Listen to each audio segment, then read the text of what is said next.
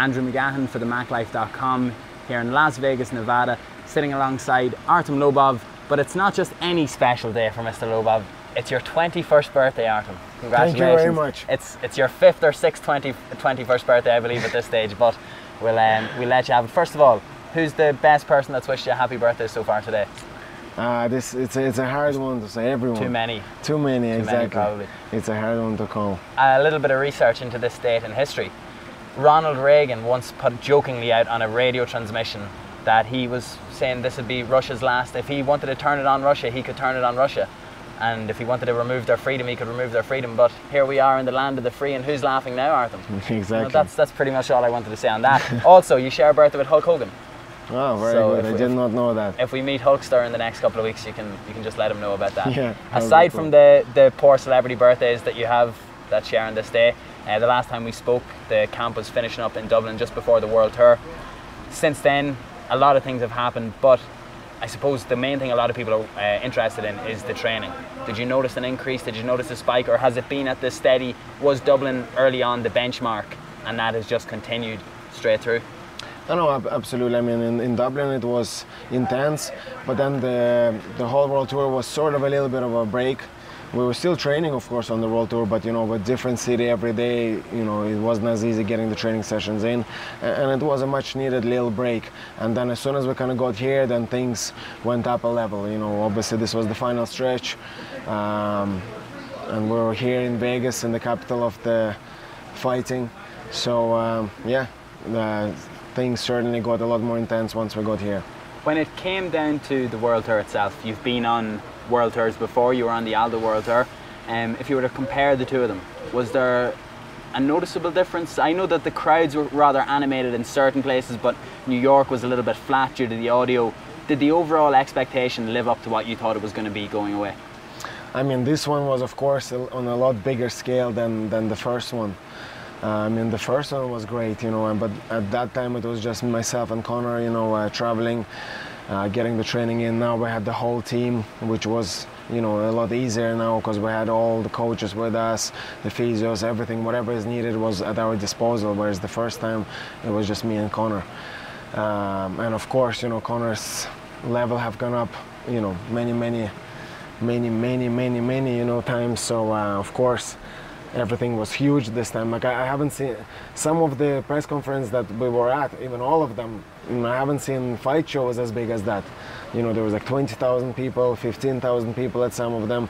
So it was great to see. Um, but at this time, one thing that was different, I was a lot more prepared for it because obviously I had a chance to see how big of a star Conor has become. So I was expecting all that, whereas the first time, not so much. For your, from your own personal point of view, though, because you were the guy that was, you, you said that was just the two years before, and now the media obligations have doubled or maybe even tripled in comparison from that media tour to this. Hmm. But it was always a constant belief, you know, that this greatness or this these bigger things was going to happen or were going to happen. There was always the belief that the level was going to raise with each and every fight. But to witness it actually happening, you know, it's it's not until you decompress and take yourself out of the situation of a new city every day that you realize mm. how much of a magnitude the whole thing really was.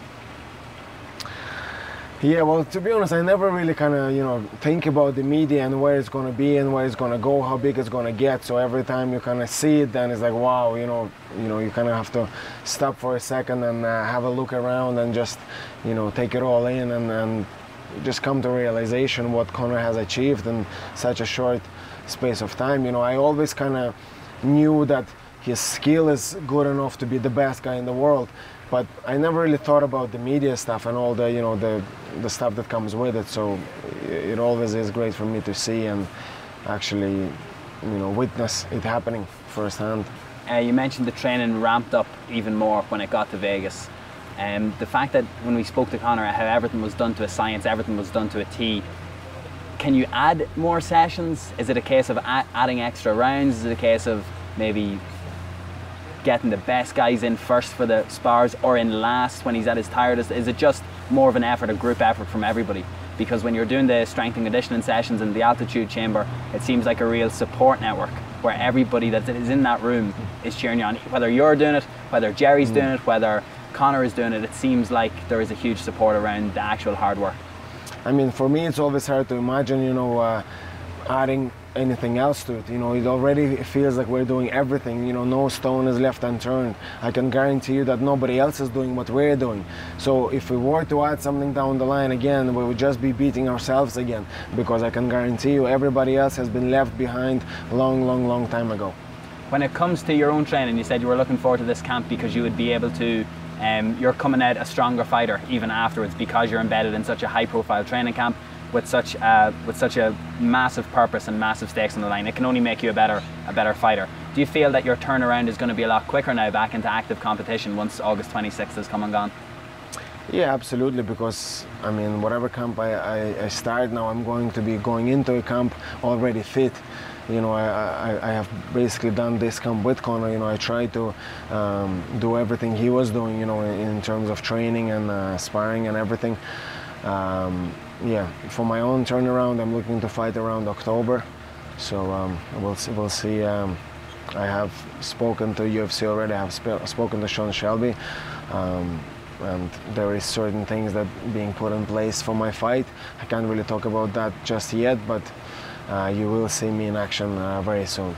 Two quick things. The whole thing that started you on this journey was a chat with Sean Shelby after Conor's debut in Stockholm and I can remember talking to you after it happened, and you said we need to get when we get, or I think it was Graham at the time said when you get home, we're going to do an interview where you're going to call out anybody, offer to fight for free on short notice, on however many notice, and that was the journey for you. Now every day you're walking in and passing Sean Shelby's office. For you, when we talk about surreal for Conor going from there to this in a short space of time, for you that must be a surreal thing because you would have been hounding him on Twitter for years, and now you could just go to his office if you wanted.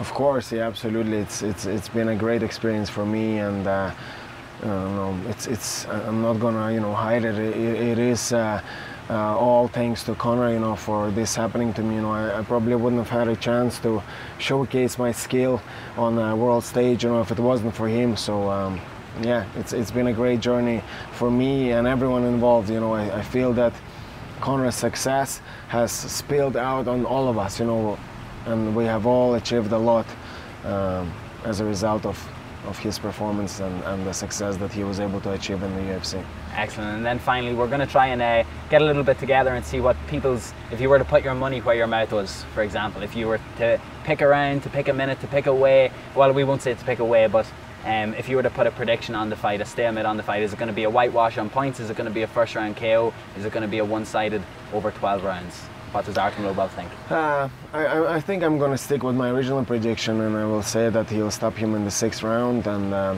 the reason I say that is uh, I, I, just, due to the fact that boxing rounds are only three minutes long, you know, and obviously Mayweather being an expert at boxing, I feel he'll find a way to survive for a while. You know, obviously the first few rounds he'll still be fresh. So, you know, he'll get through that, but then just Conor's pressure and everything will, will wear him out. And uh, I think he'll be in trouble by the fourth in a lot of trouble by the fourth, but due to the fact that the round's only three minutes, he'll be able to survive till the sixth. And this is when uh, Conor will uh, will end his legacy, will end his career, will end his everything, and uh, become the undisputed best boxer of all time. Yeah, excellent. Artem Lobov, thank you very much. McGregor versus Mayweather goes down in the T-Mobile Arena in Las Vegas on August 26th. I'm not too sure how many days away we are now, but 15, uh, I think. 15. Oh yeah, 15. It's two weeks tomorrow. Um, Conor's doing a media day later on. We're going to have full coverage from there. But Artem, uh, thank you very much. You've kicked us off our thank series you. of interviews here in Las Vegas. Thanks a million.